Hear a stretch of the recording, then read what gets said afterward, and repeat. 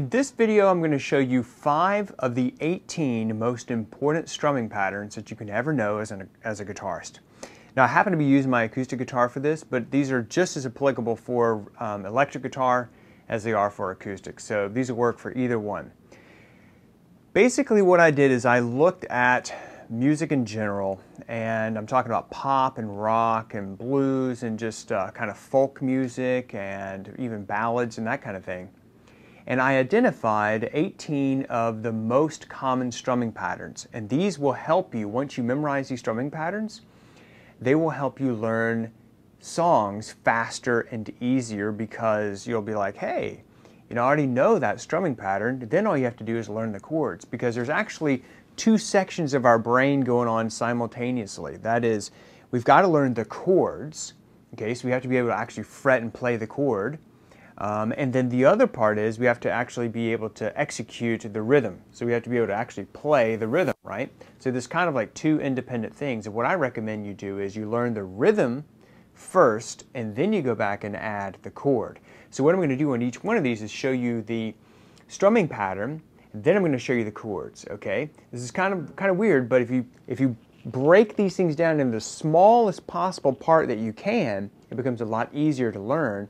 And actually, even though you're kind of like, well, I'm only playing the rhythm and not the chords and the rhythm, you think it might take you longer to, to learn the new song, but actually it's, it's the exact opposite. It takes you less time if you break each component down individually. So let's start out with the first pattern and let me play it for you and then I'll break it down for you, okay? So the first pattern is really simple and we're just going to use uh, two different chords, a C chord and an A minor chord. And of course, I'm going to give you the uh, chords for this and the strumming patterns and everything, but I just want to make sure uh, that you know identify those chords for you. All right, so here we go. So the first one sounds like this.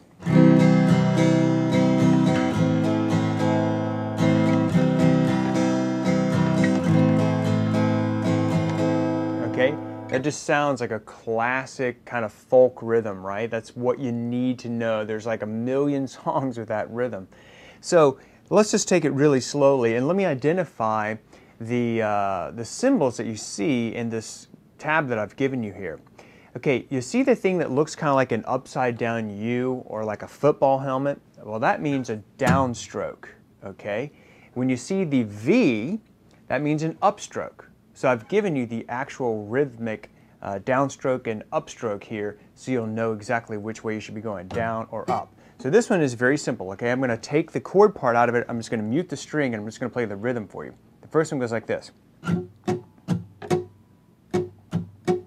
Okay, let me do that slowly for you and tell you which where I'm going, down or up. Here we go.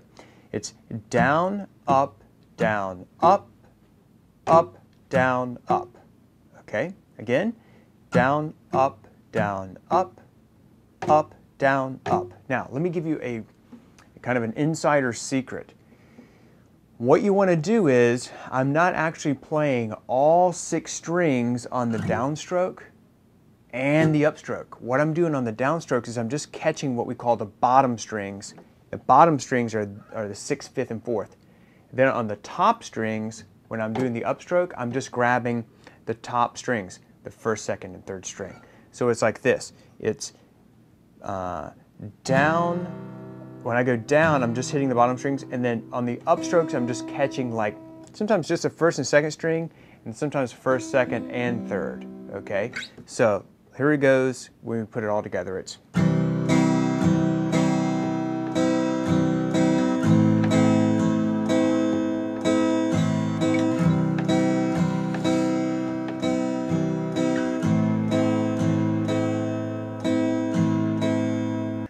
Okay, now in the second one, it's very much like the first, just a little bit different. Let me play it for you once, and then we'll talk about it.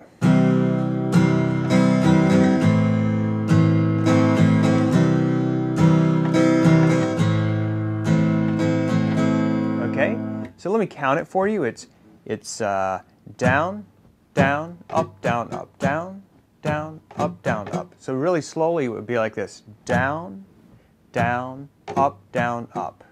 Okay, again, down, down, up, down, up. Okay, it's a little bit syncopated, which means there's you're basically emphasizing the uh, the offbeat, what we call the offbeat. Okay, So down, down, up, down, up. And you could tap it like this. Down, down, up, down, up. And that's the way I actually break things down in the very smallest component part, right? So even just tapping, that's even easier than doing the strum, right? So once you can tap it, then you can strum it, then you, then you um, can play the chords, and then you can put it together. And that's actually the way I uh, learn new songs myself. You know, I'll learn the rhythm and then the chords, and then I try to put it together. All right, so that is the second one.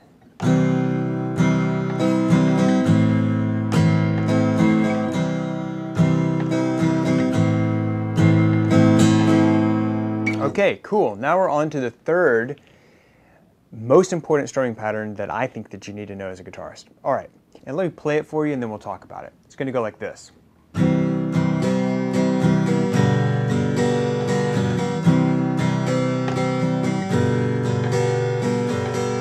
Okay, so this one's gonna go down, down, up, up, down, up.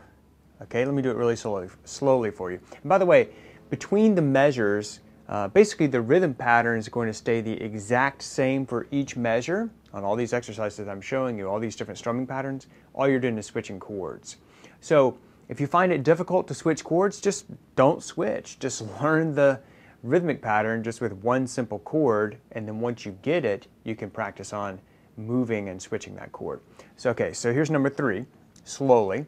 It goes down, down, up, up, down, up. And again, remember on the downstrokes, just get like the sixth, fifth, and fourth strings. On the upstrokes, you're just gonna grab the top strings. You don't have to go like, okay, that's kind of hard. Just don't, you know, don't take it too seriously. Just hit the bottom strings and just grab the, the grab the top strings on the upstrokes. So it's down, down, up, up, down, up. Okay, let's play it. Let's see, let me play the right chord. Here we go.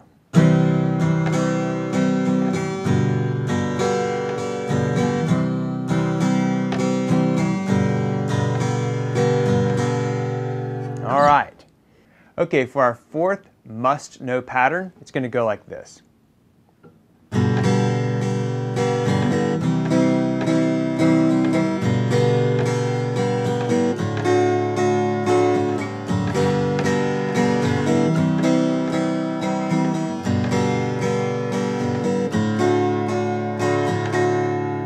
So this one has a lot of upstrokes, okay? It's a lot of kind of like syncopation. So let's do it kind of slowly. It's down, up, up, down, up, down, up.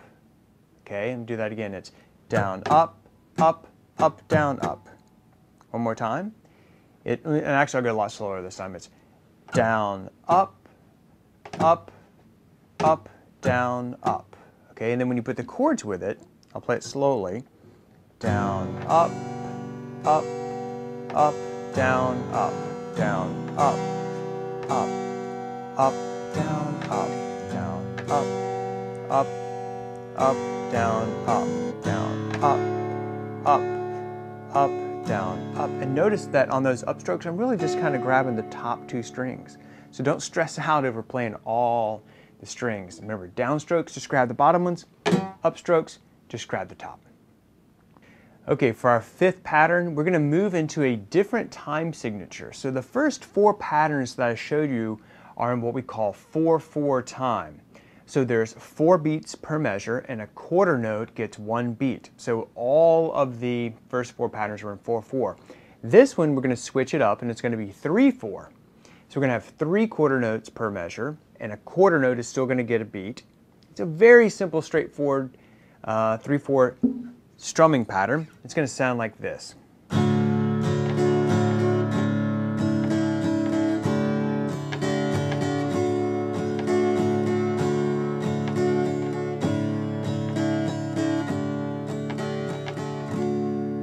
Okay, so it's real simple. It's down, down, up, down, up. That's all it is. Down, down, up, down, up. Okay, so there's three beats of measure. This would be one, two, and three, and. That's the way you would count it. And then remember, this is really important. In this particular one that I'm showing you and I've given you these chords, we're only really playing on the top three strings. So we've got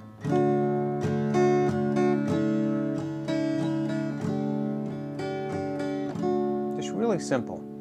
And and again, I've shown you a couple of, maybe some new chords you're not quite familiar with. They're sus chords called suspended chords, that S-U-S, that's what that stands for, suspended or suspension.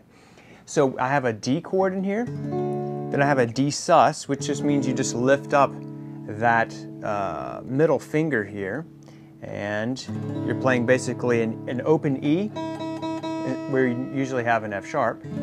And then we have a D sus 4, where we're having the G, where we normally have the F sharp. Okay, so we have the D chord, the sus 2, then the D sus 4, and then back to the D. And then the rhythm is very straightforward.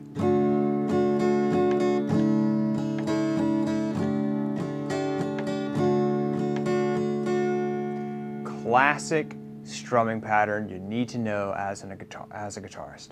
If you dug this video, do me a big favor and click the like button below and post your comment and let me know your thoughts. Thanks so much for watching and I'll see you in the next video.